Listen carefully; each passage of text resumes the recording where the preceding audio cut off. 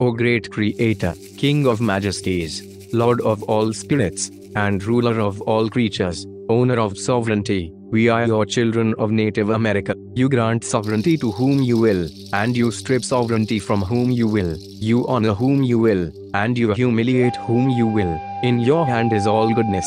You are capable of all things.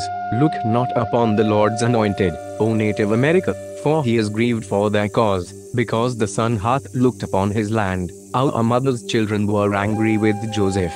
They made him the keeper of the vineyards, but his own vineyard he has not kept. You, Lord, send the clouds pouring down abundant rain on us, and you made rivers flow beneath us. You merged the night into the day, and you merged the day into the night, and you bring the living out of the dead, and you bring the dead out of the living, and you provide for whom you will without measure. The tribes of Native America will be restored to our sovereign rights in our lands. Amen.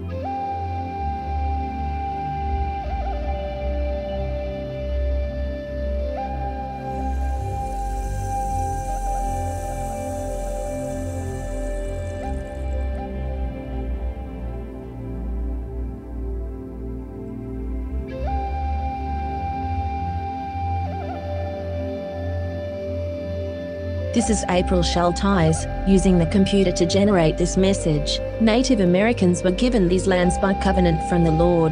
They were invaded by Rome, which had already taken over Europe. Extermination orders were put out on Native Americans. The United States murdered indigenous peoples for gain. This is Rome. Rome is into conquest and killing. My two brothers are dead and so is my niece. They came after me, too. This is Rome, and they decided to put me down. They don't need a reason, but I am an unmarried virgin past 50. I survived, but many Native Americans did not. Rome is still here. Rome crucified Christ and created Christianity to cover up the genocide of Jews, Africans, Muslims, Russians, Irish, Celts, Japanese, Chinese, Aborigines, Vietnamese, Koreans, Hmong, Hawaiians, Eskimos, Native Americans, and more. Mexicans are dying on the border every day. Never, never forget, never. The scriptures say, Yahweh, Allah, the Most High is mighty and wise. Count on him, and on the believers who have followed you.